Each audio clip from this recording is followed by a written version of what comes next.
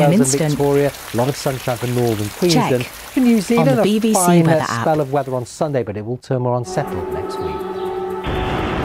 Hello, I'm Ross Atkins with Outside Source. This is the extraordinary story of climate change, vaccines, Europe, the Taliban, Ukraine. Meeting Symbolically, civilians it's like very this important. teacher Let's take this this stage by stage. architect Here's the who BBC Stephen left McDonell in Beijing. The West has stepped up sanctions against Russia. Let's look at some of the international reactions. Tell us what you've been hearing in practical terms. Uncovering What does that mean? Next, we have to step back and let's just remind ourselves this is all part of the same story. Piece the story together with Ross Watch Atkins. BBC. Outside Source on BBC World News.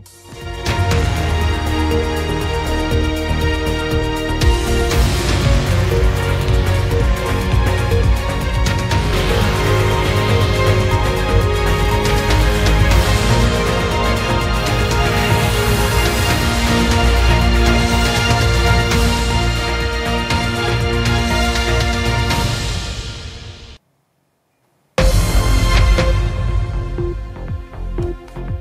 I'm Michelle Fleury in New York, and this is BBC World News America.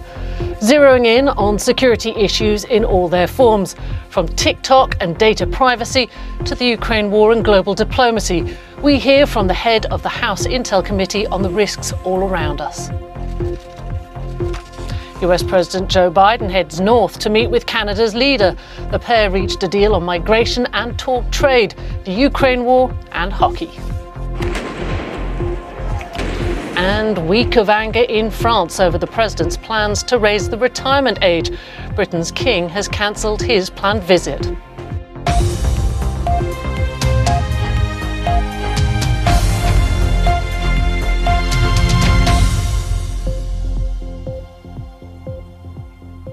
Welcome to World News America in the UK, on PBS, and around the globe.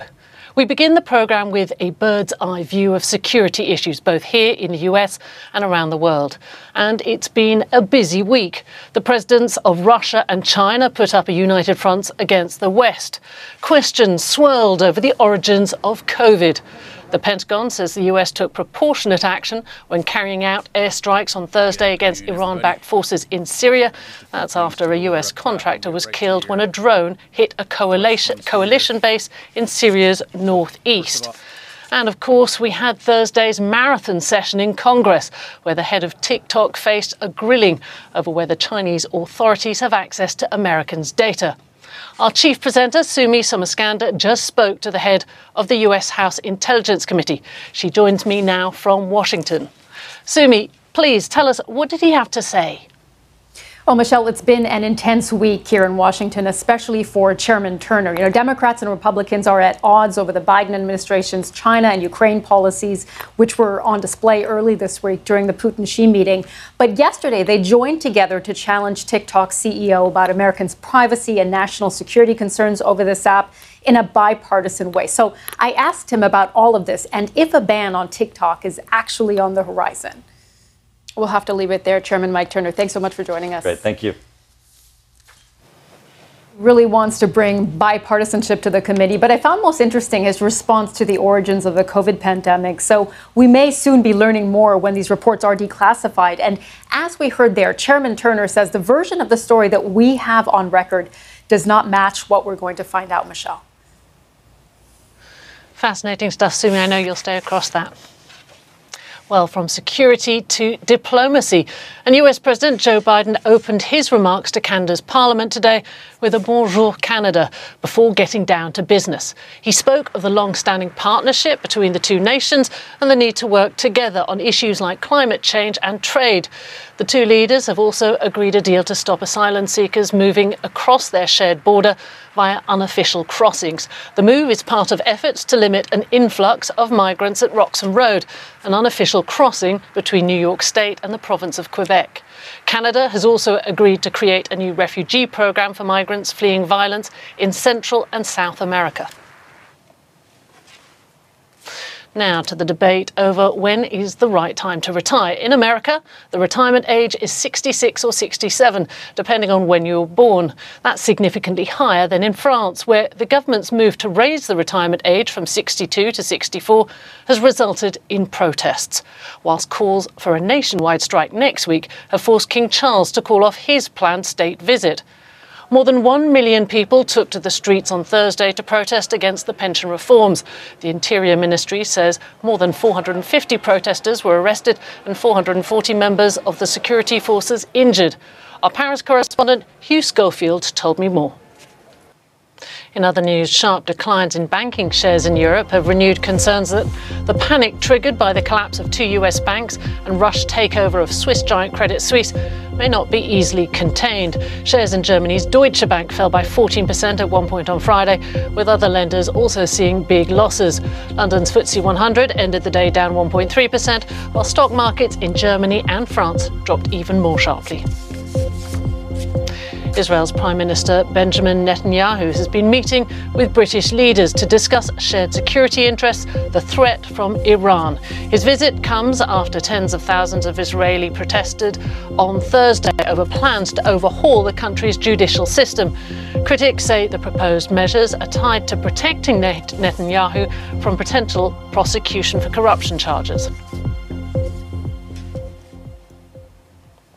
Now to India, where opposition leader Rahul Gandhi has been disqualified from Parliament following his conviction for defamation on Thursday.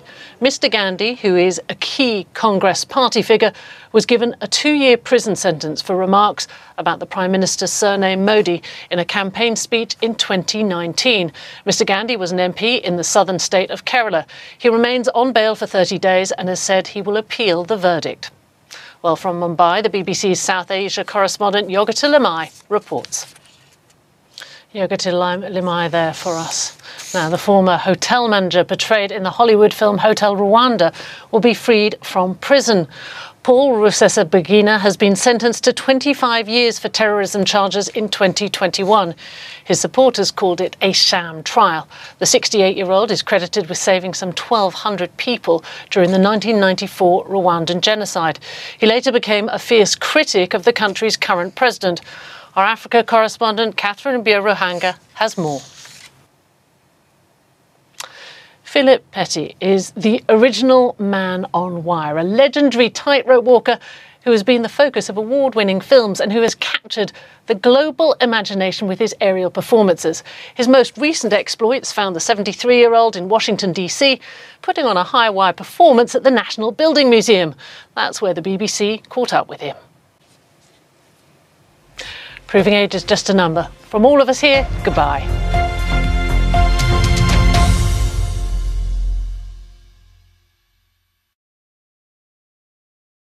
BBC News.